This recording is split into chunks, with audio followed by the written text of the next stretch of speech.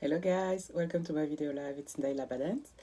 Thank you for being here today. So I'm using this new sign hello I just made. Uh, hope you like it.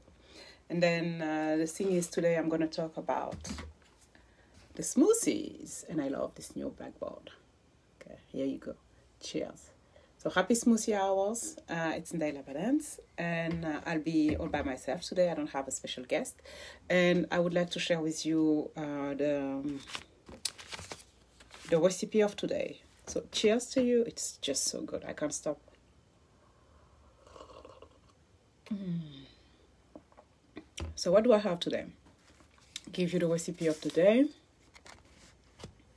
And remember, for the frequent asked question, I'll come back um, another day, probably Saturday or next week, next Wednesday, where I'm going to answer most of your frequent asked questions uh, regarding the smoothies, has a meal replacement, the protein shake, and all the questions you send me. So keep sending them. Thank you so much. And keep also recommending them to me.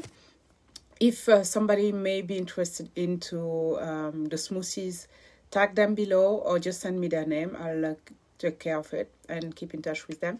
So today, the special smoothie I had today, see, I love the color. It's kind of like a little bit, looks kind of like my hat, I think. Quite similar.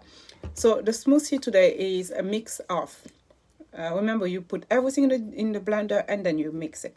So today we have ginger, we have almond, and we have almond milk, have berries, I mean blueberries, blackberries, raspberries, all frozen have raisin, we have dates, we have lemon, we have water or ice cube. You could replace it by ice cube, but today I use water because it was frozen berries. And you mix the whole thing until it's smooth because sometimes the date is really hard to break into chunks and smooth it. So it's going to take a little bit longer, so be aware of that, unless you like the chunks. I love the chunks when I'm drinking it, so it's good for me. So one more time, I'm going to repeat the recipe. And remember, you could have your book if you want to have a copy. It's easy for you to get that book. It's on Google, it's on uh, Amazon on Kindle. You could get your copy.